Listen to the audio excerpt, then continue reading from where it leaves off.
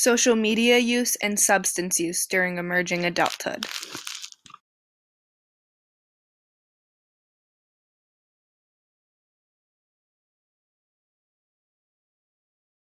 Emerging adulthood is a critical developmental period that involves numerous individual developmental changes, contextual changes, and shifts in social roles. Throughout emerging, there are five features you will go through. Meet Jack. He is in his emerging adulthood stage of life. He is going through identity exploration, instability, self focus, the feeling of feeling in between, and age of possibilities.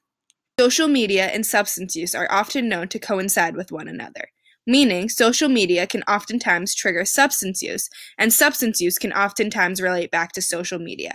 Currently, 90% of young adults use social media, with almost all visiting these social media apps on a daily basis.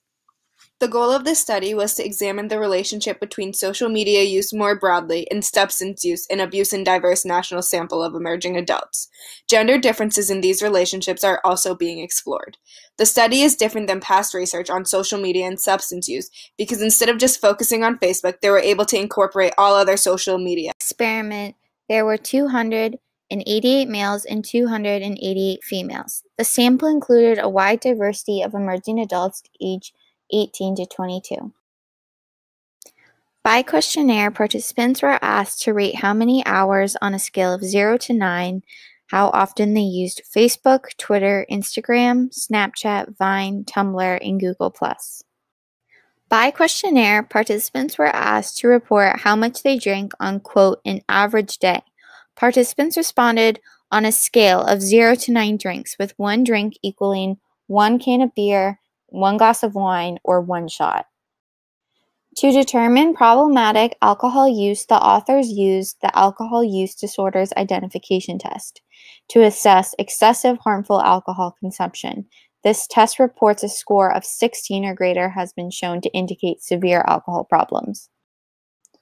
Drug use was measured by asking participants to report how often they used marijuana, sedatives, stimulants, inhalants, hallucinogens, crack cocaine, and opioids in the last six months on a scale of zero never used and seven using every day. The end goal of the study was to see the relationship between social media use and substance abuse in emerging adults. Males are found to not only show more alcohol abuse but more social media use as well. This time spent on social media is spent on apps like Facebook, Twitter, Instagram, Snapchat, Vine, Tumblr, YouTube, and Google.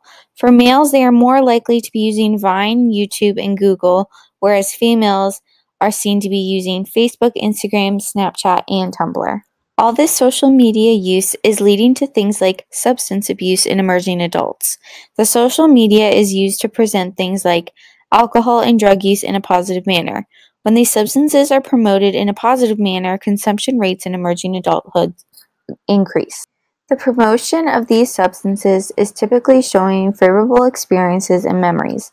When substances are used, peers are more likely to advertise their time consuming these substances for others to see, which is only encouraging the substance abuse we are seeing. Take a moment to pause this video and look at the following discussion questions.